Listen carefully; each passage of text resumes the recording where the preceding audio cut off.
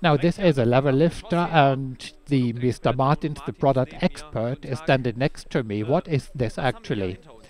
You can see an automation component, a very important automation component, and a car is lifted to a higher level here in the production line, usually a buffer line or a conveyor. So the car body arrives here, then it's moved upwards, and here we have a height of about three meters. And what is customary?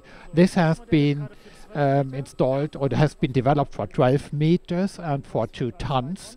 But of course, um, other sizes, other strokes are always possible. So car bodies with different weights can be transported and two tons is a lot and 12 meters is very high, a very high level. But I must also compensate for the loads. As you can see here, um, the same well in the loaded condition and also in the unloaded condition we can um, design a closed system as you can see here this is a closed system so the compensating mass is also going up and down in order to compensate for the weight of the car body. Exactly. And how is this driven? As you can see, there are two motors at the top, a main and a standby um, motor and the we can switch over very quickly in the case of a failure and all this is speed controlled and there is a linear sensor, a linear tr transducer which will thus ensure the position. So if there is a failure we can quickly change over and the second motor is only waiting to work. Yeah. And there is also a second um, platform for maintenance work, for instance, with um, locking pins, so we can easily switch over the motor. In the case of a failure, we can quickly switch over. The downtime is very short. And we can change this, yeah. So there is the drive unit, and I think that there are also some safety features. Yeah, safety is very important to us. That is the state of the art and we can make adjustments and there are four main safety features. One for instance is the elongation monitoring system uh, which you can see a cork that is if the cage moves in one direction or another or if a flat belt elongates. Then for instance we also have the distance monitoring system or a position monitor and you can see now that we also have the horizontal locking mechanism yeah, you can see it here in the animation. You can see the upper and lower positions with plus minus one millimeter, but also tilting. And uh, we can so we can also monitor tilting, tilting of the cage, um, so that the roller conveyor is not being tilted. And for maintenance, there are also certain safety features. Yes, you can see it here. In every position, we can lock the equipment in and thus at we can um, work quietly at the top that is change over the motors lubricating inspection servicing. So all this is well protected. Yeah there is a safety package a comprehensive safety package. That's very good. And this unit has been standing here for a couple of years. And are there any new features? Yeah we are now using a flat belt instead of a tooth belt and the motors. Um, are also properly controlled, precisely controlled. These are some new features. Um, but we can also make adjustments to specific requirements. That is for Volvo and VW, we have completely different types of level lifters. Yeah, it also well depends on the customer. So we are very customer oriented, but nevertheless, this is a sort of modular design. Yeah. And Tünkers expert uses not only level lifters for transporting, but other products.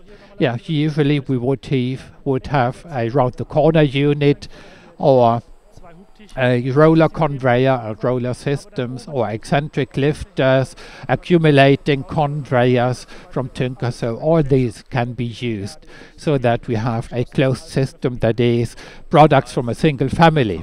Yeah, so we can actually cover the entire plant. Yeah, and we transport things not only, but all, we also turn them around at Tünkers. And in the background, you can see the pyramid which is rotating. What is this supposed to be? Yeah, this rotary table is the EDH, the core, our core. It's been tried and tested. It's very robust, very precise, with a very long lifetime, and it can be used all over the world. And this has been standardized so that we can use it in China or in Brazil and the US. And because of the smart design, the design principle. Maintenance is very simple and very low. And we've also got this at home and you can quickly install it.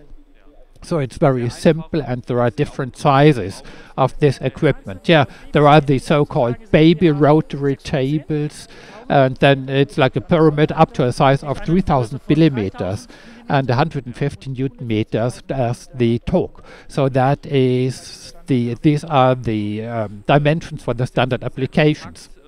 This is very compact, modular, similar design, and in the last few years we uh, had got used to a different color. Now it's yellow. Has a lot happened?